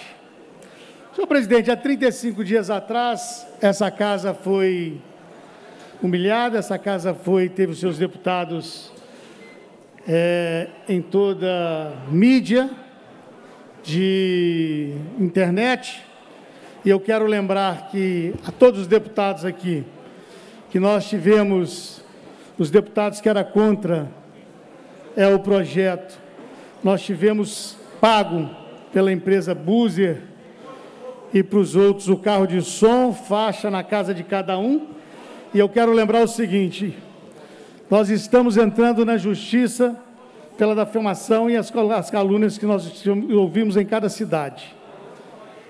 E essa indenização não vai ser para cada deputado, não. Nós vamos dar para a Santa Casa de Misericórdia. Porque é um absurdo o que fizeram e fizeram os deputados aqui. Colocando carro de som, colocando faixa, gastando com Rede Globo de televisão, gastando com jornal, com entrevistas de rádio. E naquela hora a gente começou a ver, nós não estávamos discutindo fretamento. Eu sou muito, eu falo com muita tranquilidade. Em janeiro, quando a gente procurou falando de gratuidade nos aplicativos, eu ouvi o seguinte: deputado, quem dá gratuidade é o governo. Nós visamos é lucro, procure seus direitos nós mostramos a ilegalidade naquela hora de um decreto do governador. O Tribunal de Justiça, TCE, comprovou, mandou para essa casa, nós tivemos que correr a fazer outro projeto. Um projeto que eu quero lembrar, nós estamos discutindo, o Arnaldo colocou muito bem. Quando a gente discutia fora ali, o Arnaldo colocou, nós estamos aqui discutindo fretamento a tranquilidade para os deputados que nós tivemos a oportunidade de conversar antes da sessão, a gente deixava bem claro, nós estamos discutindo fretamento. Aplicativo nós vamos discutir na hora certa. Essa casa vai discutir aplicativo. Nós estamos discutindo fretamento. E para aquele que faz um fretamento com responsabilidade, com seriedade, para ele, esse projeto que foi vetado pelo governador, ele atende. Quando foi colocado aqui pelo deputado que, que usou a palavra aqui, falando o seguinte: nós não vamos poder mais pegar uma família, e eu vi isso na rádio ontem, lá em Lafayette, para chegar até o aeroporto de Confins. Esse carro não vai poder voltar. Mentira! Quando você faz um fretamento da sua família de Sete Lagoas para Confins, você paga a ida e a volta. A pessoa não vai chegar lá e vai fazer, vou pegar outros passageiros aqui e vou ficar com a plaquinha, ó, Sete Lagoas, avanta aqui. Isso é mentira. Não existe isso. Então, quando a gente tem que usar muita verdade. Eu tenho 33 anos de vida pública, estou no meu nono mandato consecutivo. E com tranquilidade eu vi que a gente sempre sobe na tribuna aqui, mas tem que falar, vamos falar mentira. Contra ou a favor, nós não podemos falar mentira. E foi colocado nesse projeto várias coisas. Quando se colocou faixas da cidade de Itabirito, quando colocou, tentou colocar carro de som lá, e eu recebi um telefonema e falei, deputado, o senhor trabalha aqui? Nós que mexemos com carro de som aqui, nós não rodamos o que eles mandaram aqui, não. Falando que o senhor é quanto turismo, eu fui presidente da comissão de turismo, onde solidifiquei todas as leis do turismo e fiz um turismo certo naquela hora, quando presidente da comissão de turismo, no meu segundo mandato, há vinte e tantos anos atrás. Quando se fala, eu sou contra o turismo e os senhores deputados que foram ameaçados pela búzia, pelos predadores, e dizem de passagem, de fretamento não tem nada, são, fazem transporte clandestino, sim, em Minas Gerais. Nós fomos, nós fomos para redes sociais, foram para redes sociais e colocaram. Essa casa é proibido o uso de robô. E aí eu quero anunciar para os senhores: a casa nós fizemos um levantamento dessa casa e recebemos num dia, todos os deputados aqui, 16.500 e-mails. E o mais curioso, na mesma hora que o deputado recebeu Alencar da Silveira, recebeu o deputado Tito Torres, o presidente, o deputado Caixa, todos os deputados aqui, usando robô, gastando na mídia social o que gastaram patrocinaram um time de futebol. E aí eu vou dar uma aparência. Quando começaram a patrocinar o Cruzeiro, a Búzia é tão pé fria que o Cruzeiro não conseguiu ganhar de ninguém. A Búzia só trouxe friagem para o Cruzeiro. E nós tivemos o pessoal falando, não, a Búzia está patrocinando. Jogou o Cruzeiro lá para baixo, a Búzia. A realidade foi essa. Viu, Douglas Melo Cruzeirense? Conseguiram, olha aqui ó, como é que são as coisas. Eles compraram o nome. Quando começou aquele negócio todo, Cruzeiro vai jogar lá no, no, em Sete Lagoas. Eles foram lá e compraram o nome. Ô, deputado Douglas, eles pagaram lá quando compraram o nome, colocaram Arena Buzer lá, estão pagando? Não estão pagando, então. Agora vai ser a Arena Buzer lá de Sete Lagoas? Será que o que eles fizeram vão Deputado continuar Alencar, fazendo?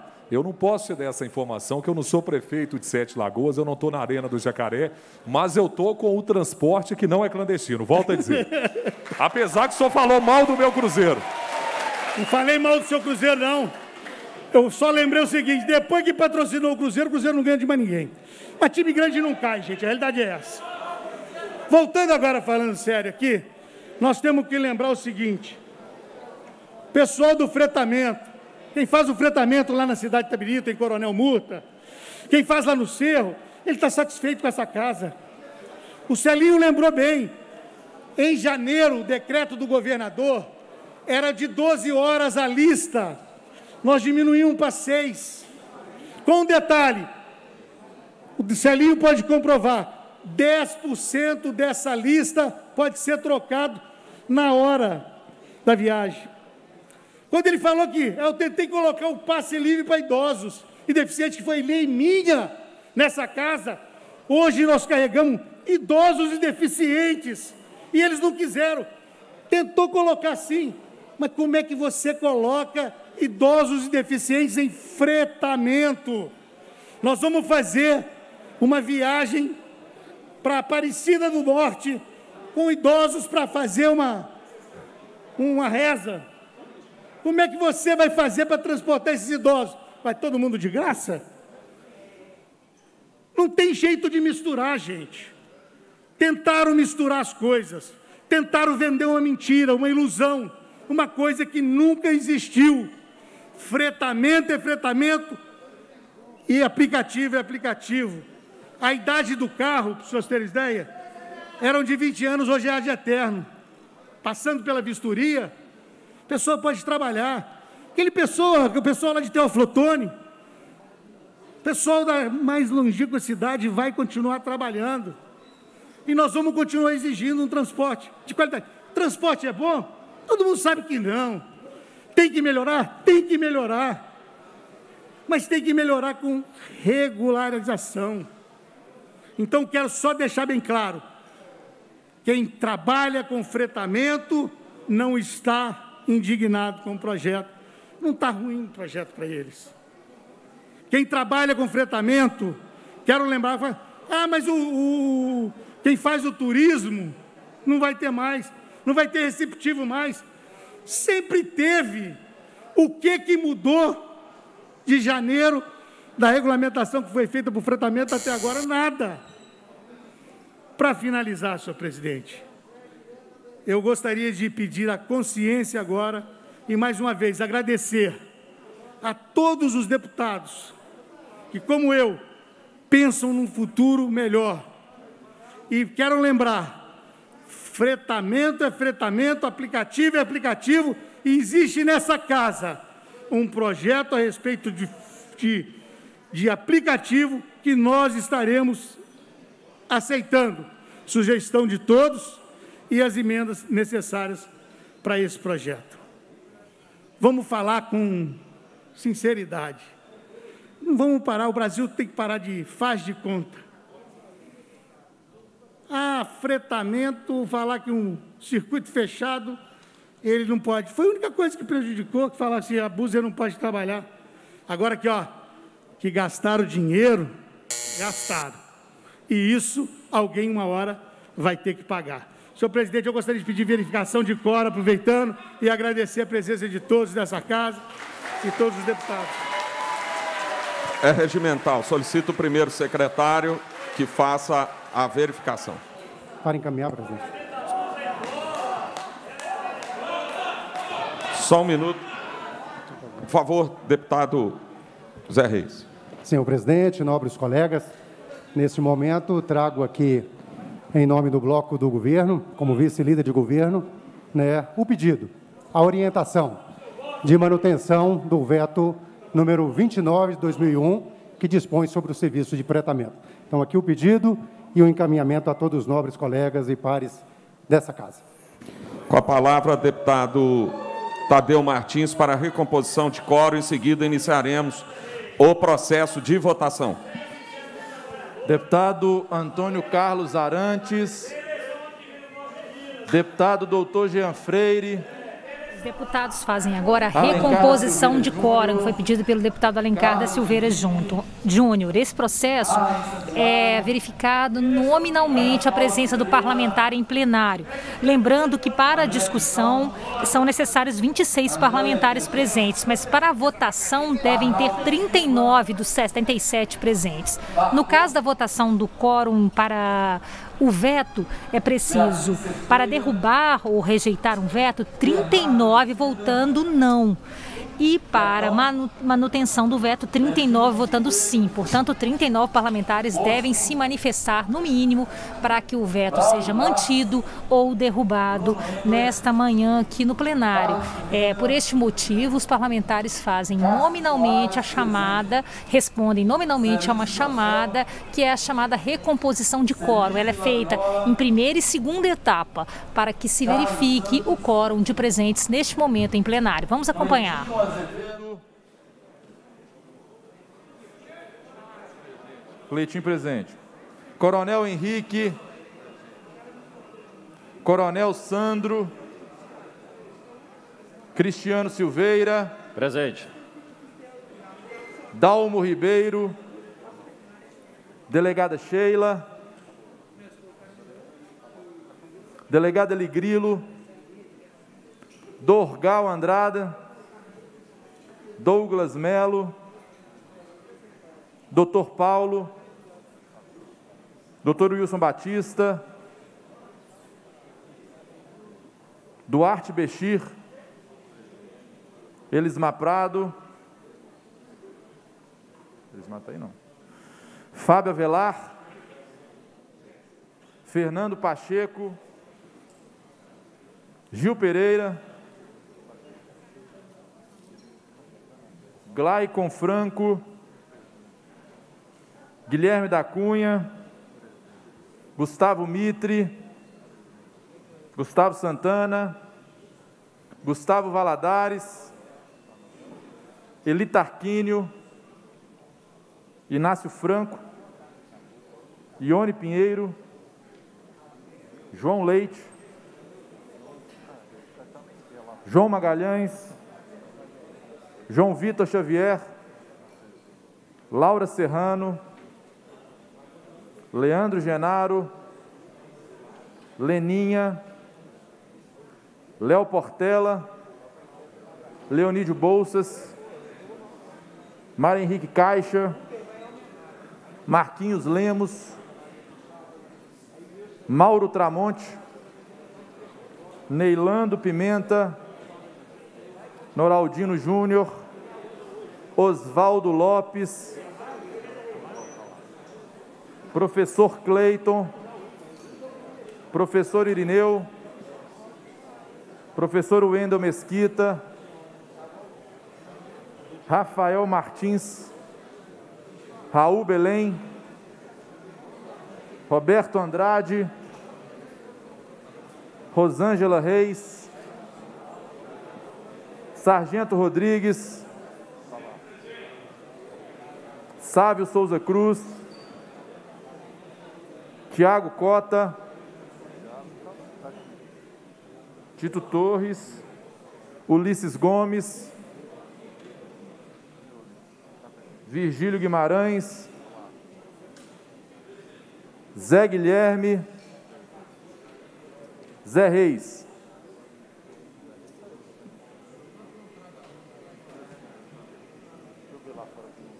Segunda palavra, ó, segunda, segunda chamada, deputado, com a palavra, deputado Tadeu Martins. Deputado Bartô Novamente, os deputados continuam esse processo, é a segunda chamada para recomposição de quórum. fizeram em primeira e agora em segunda. É, os deputados são chamados nominalmente para que verifique a presença deles em quórum. Isso é importante para que a votação do veto aconteça, já que é, é preciso que 39 deputados se manifestem votando sim ou não. Não no caso da derrubada do veto, na rejeição do veto, e sim no caso da manutenção. Por esse motivo, é possível, é, é, foi pedido pelo deputado Alencar da Silveira Júnior essa recomposição de quórum para que se tenha certeza da presença do número necessário de parlamentares para esta votação. Lembrando que os parlamentares vão analisar em turno único o veto número 29 a uma proposição de lei relacionada ao serviço fretado de transporte rodoviário intermunicipal e metropolitano de pessoas. É, o governador vetou algumas partes, trata-se de um veto parcial e, portanto, os parlamentares parlamentares irão votar na sequência dessa recomposição de quórum, assim que se verificar o quórum adequado para a continuidade dos trabalhos.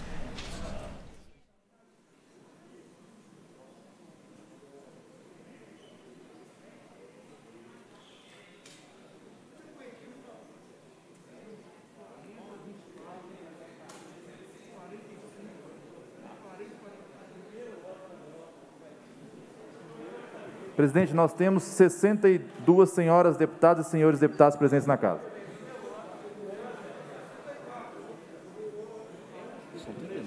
Portanto, há número regimental para a votação.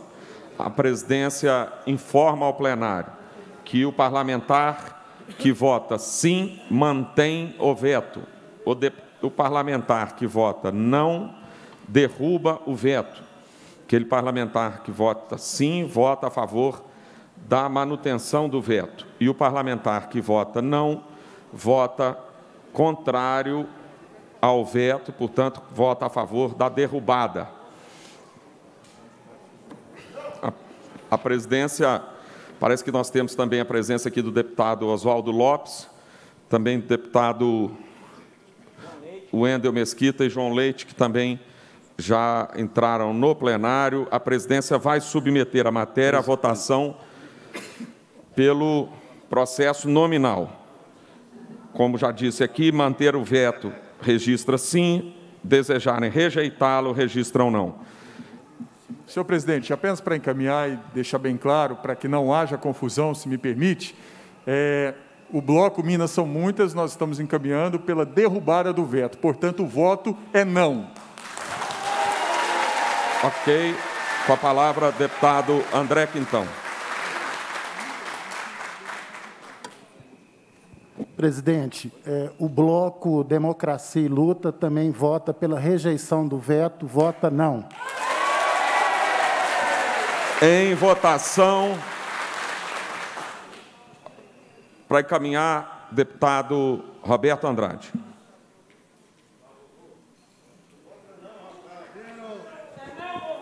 O, o bloco Luiz Humberto encaminha pela manutenção do veto. Em, em votação. Em votação, o veto. Em votação. Os parlamentares votam neste momento em turno único o veto número 29 de 2021 a proposição de lei sobre a prestação de serviço fretado de transporte rodoviário intermunicipal e metropolitano de pessoas. É um veto parcial do governador. O governador votou, vetou alguns pontos, como a obrigatoriedade de apresentação de uma lista de passageiros em seis horas, de, com seis horas de antecedência, e a exigência de que os clientes façam a viagem de ida e volta. esses foram os vetos do governador à proposição. Vamos proceder à segunda chamada de votação. Solicito às deputadas e deputados presentes que façam a votação. Em votação. Segundo a chamada de votação. Em votação. Solicito às deputadas, deputados que façam o registro do seu voto para, para que nós possamos proclamar o resultado. O parecer do deputado Cássio Soares foi lido em plenário e foi pela derrubada do veto. O projeto está na faixa constitucional do, do, do plenário, então tranca a pauta, tem que ser apreciado para liberar a pauta para que outros projetos possam ser votados também aqui em plenário. Registro o voto sim do deputado, voto não do deputado Inácio Franco. Sim. Portanto, voto não do deputado Sargento Rodrigues. Votaram não 40 senhoras e senhores deputados. Votaram sim 17 senhoras e senhores deputados. Portanto, está derrubado o veto.